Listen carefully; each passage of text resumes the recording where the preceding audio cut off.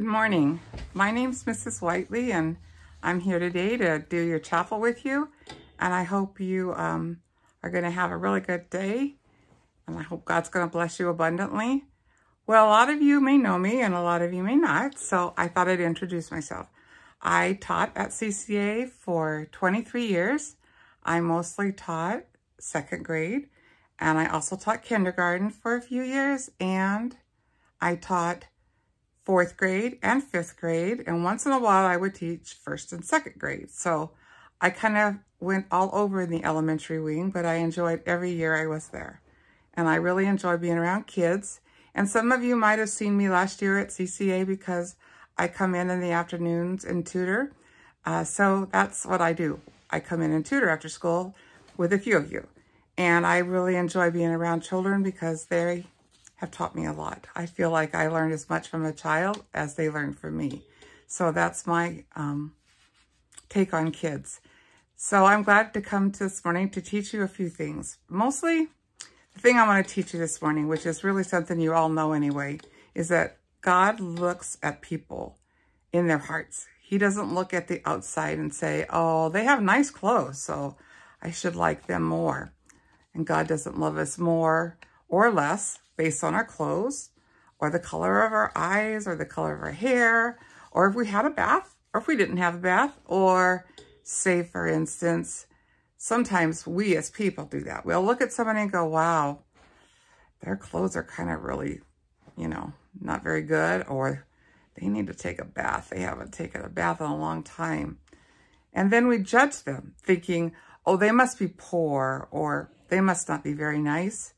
And really, that's really wrong. And I know that it's easy to do, but we have to keep reminding ourselves that that's not the way God looks at us. And there's times when we might be looking terrible, but that doesn't make us a terrible person. And that's not what God sees in us. He sees our heart. He sees how we live and how we treat other people. And here's a Bible verse I want you to look at. I'm going to cover my face so you could see it. Let me pull it up there. I'll cut it back away. There we go. God sees not as man sees. For man looks at the outward appearance, but the Lord looks at the heart. 1 Samuel 16, 7. Maybe you could read that with me. Can you see it good enough to read it with me? God sees not as man sees, for man looks at the outward appearance, but the Lord looks at the heart. 1 Samuel 16, 7. So don't forget that God's looking at your heart. He looks at how you treat other people. And that's how we need to remind ourselves all the time that God's looking at us in a different way than we look at each other. Um, and sometimes things seem to us a certain way, but really it's kind of like on the surface, it looks just like nothing's going on. So on a surface, you look at the water or the ocean. On the surface, it just looks like water. Maybe there's some boats on the water. Maybe there's a log floating in the water, or you could see some seaweed. But you know, because you've seen pictures, the whole there's a whole other world underneath the ocean, right? So that on the surface, you just think just a bunch of water out there. But underneath that surface, there's a whole lot different. And it's kind of like our surface. Our surface is our outside, how our clothes look, how our hair looks, how um, we treat each other. But you don't know that even people, how they act, that's still a surface thing. You don't know what's going on in people's lives, like what's in their, what's at their house. Um, did they have breakfast? Maybe their parents didn't have enough money to buy food for breakfast. Maybe their parents are having a real struggle. And so the kid comes to school or your friend comes to school and they're grumpy. Maybe the, there was something that happened on the way to school. Sometimes you have to realize and give everybody a chance and say, you know, instead of being grouchy back to somebody that's grouchy, be nice back to them. Because you don't know what's happening underneath the surface. Because the surface is the only thing you're seeing. You're seeing their attitude, you're seeing their grouchy face, and you don't know what's going on. So I'm going to tell you a story about a man and his neighbor and a field a field was just, you know, he, he was a farmer. So these people planted crops. And this happened long time ago, like um, 80 years ago. It was during World War II when this happened. And this wasn't anything to do with the war. It happened to do with two men that lived really kind of in the same area, and they both had tractors, and they both had plows hooked to the tractor. I'm going to show you a picture of that too. So this is what they both had, something like this. This is this is like a 1940s tractor I'm showing you here. So, you know, there's the tractor part here, and then the plow is back here. That This is what plows up the ground. And so this man and his neighbor both had this. And what they would do is they got hired to plow fields. Not everybody can afford a tractor and a plow. But that's what they did for a living. So one day, the one man, his, we're going to call him two, these two guys, Ford, that's their name, Mr. Ford, and Mr. Fletcher. But I'm just going to call them Ford and Fletcher so I don't have to say Mr. every time. Ford and Fletcher sometimes would give each other work. Say Mr. Fletcher was really busy and he had Monday through Friday, he was going to be busy plowing fields. Well, somebody called him up and said, could you come plow my field on Wednesday? And he would say, no, but I could maybe go talk to Mr. Ford, and maybe Mr. Ford could do it. Then you could have your field plowed on the day you needed it. So one day, Mr. Ford came down to Mr. Fletcher's house and said, I have a man that called me. He wants me to plow his field, but I'm already busy. Do you have time to do it tomorrow? So Mr. Fletcher said, sure, I have time. I wasn't scheduled to go anywhere. So he goes takes his tractor and drives it down the road very slowly. I don't know if you've ever been behind a tractor. They can't drive very fast. And I'm sure back then they had to drive even slower. So they, um, Mr. Um, Fletcher took his tractor and drove down the street to this field. Now, Mr. Ford wasn't very far away. Maybe he was um, a half a mile away plowing somebody else's field. They were both working. It was a really cold winter day. Very, very cold. And uh, the wind was blowing. I don't know about you. I don't like the wind anyway, but I really don't like it when it's blowing and it's cold. So Mr. Fletcher had to bundle up with lots of layers of coats and gloves. And he had done a thing that's kind of cool, I think. Let me show you this picture of this tractor again to show you what he did. So what he had did, what he did, which is kind of cool, right here's the, you know, the tractor and here's the plow. He had somehow rigged something underneath here that was like a stick so that when he's plowing, if this bumps something like a big rock under the ground or bumps any kind of um, hard object, rather than break something on his tractor or break something on his plow, that stick was somehow would disconnect the plow from the tractor so that he'd have to just stop what he was doing and go out and inspect what he'd hit. I think that's pretty, I think that's pretty smart. I don't know if that is something they do today, but this day he was digging. Um, the guy told him, I want you to plow the ground. Wasn't really digging. He was plowing it, you know, just turning it underneath like a rototiller would. He said, I want you to go a whole foot deep. Now, a foot is as long as a ruler. You know how a ruler is, but is 12 inches. That's how deep he had to go from the top of the ground down. So that's kind of deep. And um, the farmer asked him to do that because he was going to be planting beets. You know, beets, those red vegetables. Some of you probably don't like those. I didn't like them when I was a kid, but I like them now. Um, so he was digging pretty deep in the ground, not just the top. He wasn't just rototilling the top. He was going way down deep. So this stick that was he had hooked was pretty deep too. So he knew that if something, if the thing came apart, the plow from the trailer, he knew that the tractor, there was a something, there was a problem under the ground. So he was plowing away, then all of a sudden, boom, things came, those two came apart, and he knew I've hit something, and I need to check out what I hit. Because as a, um, you don't want to ruin your equipment. If you know anything about big farm equipment, it's expensive. And even 1940, it was expensive. So he um, got out. He knew right where the stick had, you know, made things come apart. So he got a shovel and started digging. And he looked down there and he kept thinking, I don't see anything. I don't see anything. But there's got to be something because the stick doesn't, the stick was taking the two parts of his equipment apart. Anyway, as he digged down a little further with his shovel, he felt something. something hard. He thought, oh, must be a big boulder or a big rock or piece of concrete. He didn't know. And then he saw something kind of down there that was a shiny or metal. It didn't look like a rock. It was more like an object, something. So he went and got um, a little deeper and dug down there. And then he realized, huh, this is weird. I, I feel like I could see something down there that looks kind of like a big plate or like a big, you know, like a big platter. That's just, that's just weird.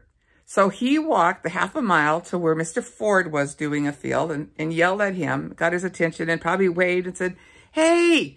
And so he stopped his tractor and they went and talked together. He says, come, I need you to come look at this hole that, um, where I dug. And I want you to come look and see what's going on. I want you to help me. So they both got over there with their shovels and started digging around and being careful not to break anything because they knew that this was not just a rock or piece of concrete. This is something maybe important. I don't know. So they started digging and they came up. Whoa, this is actually like plates, like regular, not a plate like we think of, like, you know, like a dinner plate, but something really fancy. Like if your mom baked like special Christmas cookies or special you know, like had a platter with cheese and crackers and she made something really fancy for like guests, this would be the kind of plate she'd serve it on, something very fancy and pretty. Those are the special dishes your mom had. Well, there was one of those. Of course, they were full of like dirt and mud and gross, and they were trying to just use their hand to wipe them off.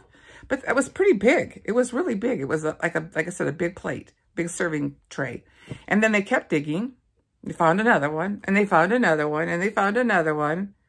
They're like, this is crazy. And then they found like, like these bowls and this like serving thing where you could put something in it, had a lid. They found spoons, silverware, like, you know, real silverware. And they, they just kept looking and finding. And eventually they dug out of that hole 34 pieces of something that, you know, plates, not just rocks, 34 pieces of something's a buried treasure, basically. Um, and the other guy, Mr. Fletcher, Mr. Ford said, oh, I remember hearing that 2,000 years ago, the Romans used to live in this area of England. That's where they were at. And that 2,000 years ago, you know, things get buried after 2,000 years, way deep in the ground, and maybe this is their stuff, something from them. Well, that's exactly what it was, but they didn't know for sure what they had dug up. Well, Mr. Um, Fletcher is the one that had found it because his tractor is the one that had um, bumped and his tractor had come apart. And the rule back then was if you find anything that's like really, really precious or could be worth a lot of money if you sold it to a museum, you are the one that's going to keep it and you're the one that gets to get paid for it. So that was kind of cool. So Mr. Fletcher could have kept all that stuff and um, turned it in to like, I don't know, somebody that's at the museum or somewhere where they would collect that kind of stuff. But Mr. Um, Ford was a little tricky. He thought he could be sneaky, and he was. He just asked Mr. Fletcher, hey, do you care if I take all this stuff? Because I don't think it's worth anything. And I'm willing to take it, and I'll grab all that stuff and stick it in my wooden box here, and I'll just take it home and keep it and look. I'll look into it for you if you don't mind giving it to me. Well, Mr. Um, Fletcher said, fine, you go ahead, you take it. I, I don't really know what to do with it, and I'm not really that interested in it. See, Mr. Mr. Ford knew that you can get money from it, but Mr. Fletcher didn't. Mr. Fletcher was just a hardworking man with a plow and a tractor, and he didn't know anything really about that. But Mr. Mr. Ford knew that if this was valuable, he could turn it in and he could paid. But the rule was whoever found it first, doesn't matter whose field it belonged to, doesn't matter which tree that tree was at, if you found something special like that, it's kind of like that saying, finders, keepers, losers, weepers. It was the thing that you got paid. If you found it, you get the money. And Mr. Ford knew that but he didn't tell Mr. Fletcher. He just acted like, this is just a bunch of muddy, dirty plates and stuff. So here, I'll take it off your hands. I'll go home and I'll clean it. So that's what happened. He went back to his field with this box of treasure. And Mr. Um, Fletcher started, filled up the hole and started doing his plowing again and got done and plowed the farmer's field that was asked to. And he went home and the next day he got paid for that. And that was the end of that. He didn't really think much more about those things they found. Now, Mr. Ford, on the other hand, he got home and he got those plates out of that box and he cleaned them and cleaned them. And the more he cleaned, the more he saw, wow, this is not just like some old yucky looking metal thing. It was like pure silver, gold, or copper. It was beautiful. And I'm going to show you some pictures so you can see them. And then you'll know that the stuff he found was amazing. But it, of course, it doesn't look amazing when it's covered in mud and dirt and has bits and pieces of rocks on it and roots and who knows what it had. It was 2,000 years sitting under the ground over a foot deep or about a foot deep. So I don't know why, even though Mr. Fletcher knew, um, I mean, not Mr. Fletcher, sorry, Mr. Ford knew that that was worth something, of course, he decided to just kind of keep it quiet and put it in his shed. Like, uh, maybe if I keep it a little bit longer, it will be worth more money if I wait. And there's that's true about some things. Some things get of more value. So you wait later, 10 years, it's going to be worth more. Well, that's kind of what he did. He, it doesn't say in the story why he kept it longer. He just did. And he kind of hid it away. Nobody knew he even had it. And Mr. Um, Fletcher never asked him about it or talk to him anymore about that. Well, one thing he did wrong, though. And you know, it's kind of like when you judge people by the surface, by what they're wearing or how they look or how they act, you're going to always pretty much get it wrong because you don't know. Well, Mr. Um, Ford thought, I'm going to hide it. But the thing he did wrong was he had one spoon that was kind of cool he really liked that spoon. Maybe it was fancy. I don't know, like one of those fancy spoons. He put it on top of his mantle. So he stuck it up on the mantle, and every so often he'd take it down and look at it and think, wow, this is so awesome. Wow. Then he'd put it back up there. Well, one day there was a knock at the door, and Mr. Um, Ford went and answered it. It was this friend of his who was a doctor. And this doctor was um, not there for a doctor's visit, just there to visit him. And the doctor and him were talking about just stuff like friends do. And then the, the doctor walked over by Mr. Ford's uh, mantle. And he kind of looked up there and saw something shiny. And he's like, what's this? This spoon? Where did you get this? And he kind of gave some, oh, I don't know. I found it one day when I was digging. I don't know, just a, it's just a spoon. He tried to act like it's no big deal. It's just some old spoon that I found that I thought was cool. Well, eventually the doctor got it out of him that this was not just an old spoon, that this was part of a whole set of 34 things that were found way down in the dirt that day by Mr. Um, Fletcher. And so the doctor said, you know, you're supposed to turn that stuff in. You, that belongs, anything like that is of value. It has to be turned in. It can't be, you can't keep it. And he could, Mr. Fletcher couldn't have kept it either. But Mr. Fletcher wouldn't have probably kept it had he known. He would have just, he, he would have turned it in had he been the one in possession.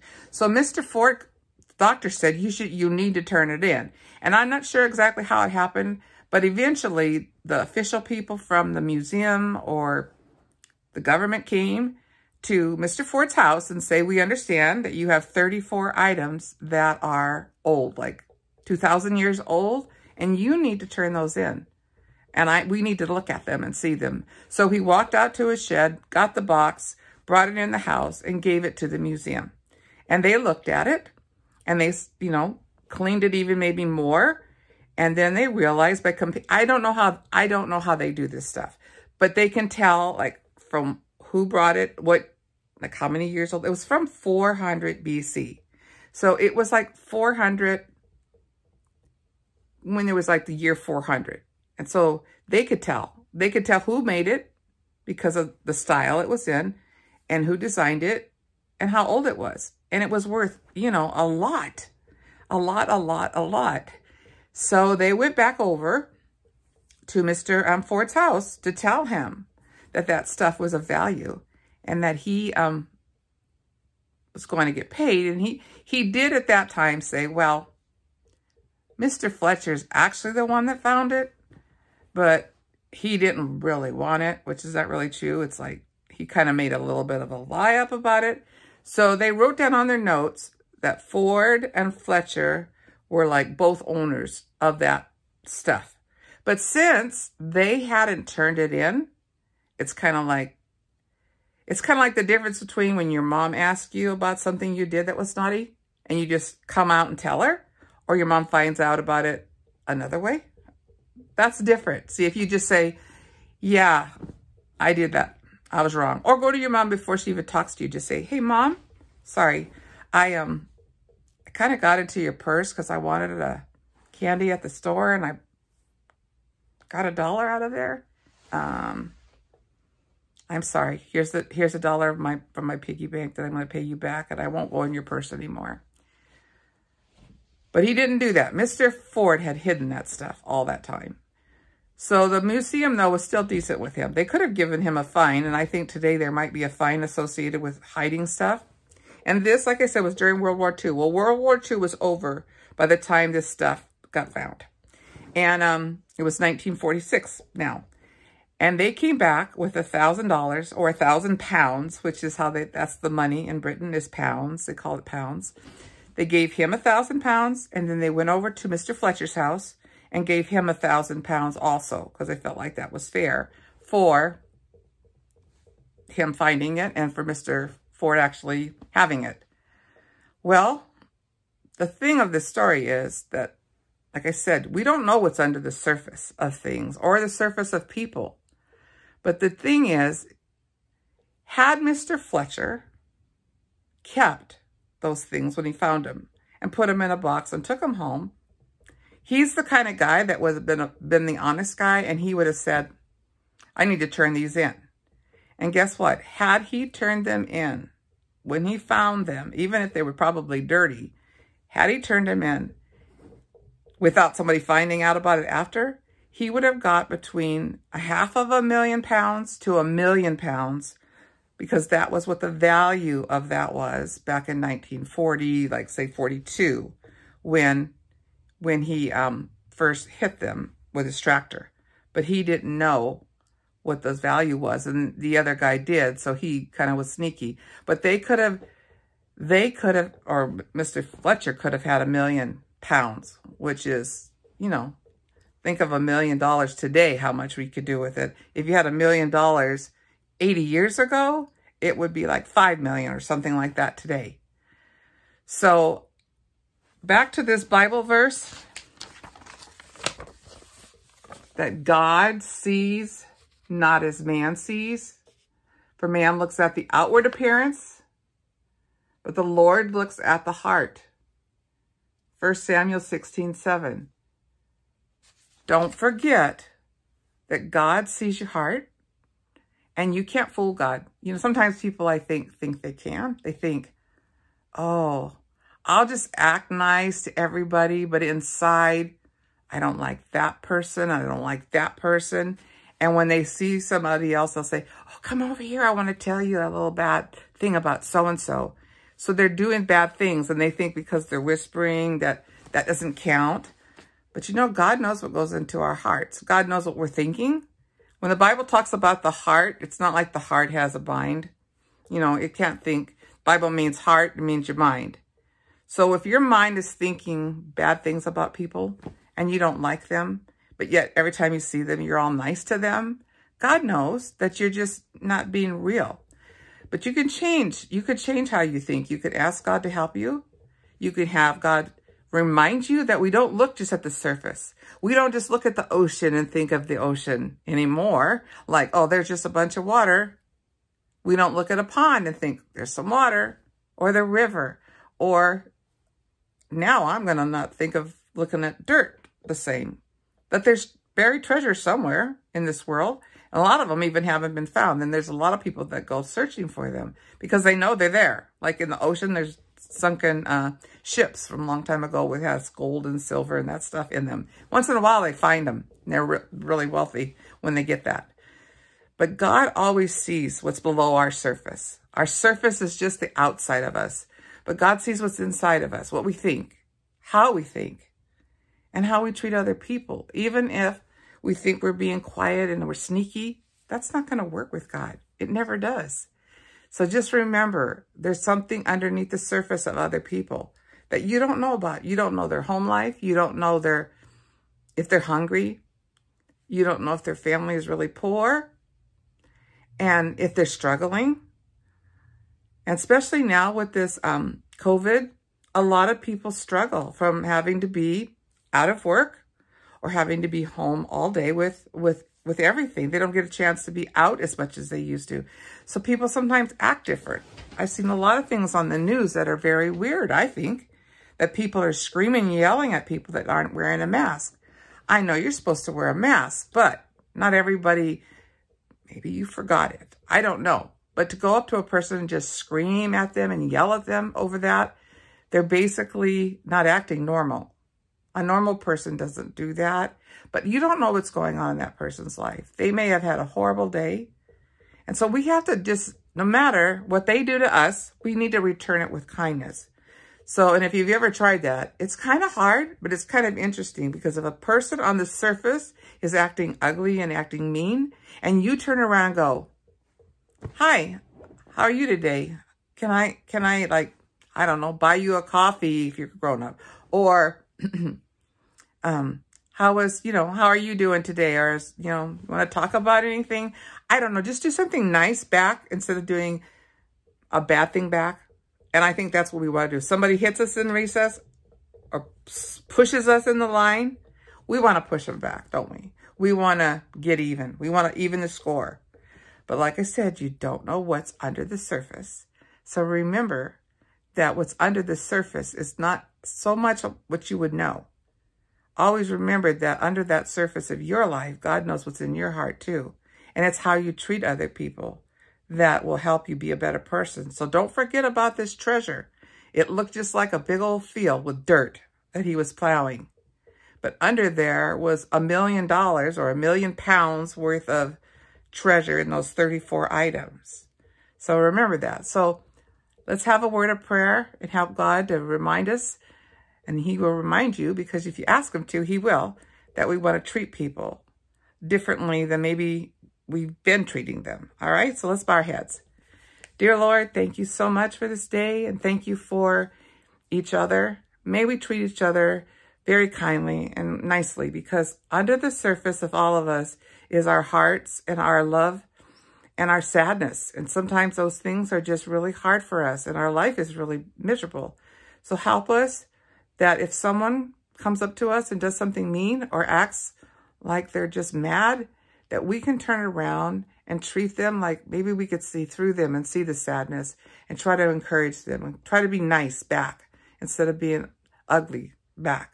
And that we can always have your heart because Jesus, people were mean to you and you always treated them nicely. You didn't do the things back to them like they did to you. And we want to be like you. So help us to be that kind of person. In your name we pray, amen. Okay, guys, have a nice weekend. Thank you for letting me share chapel with you today.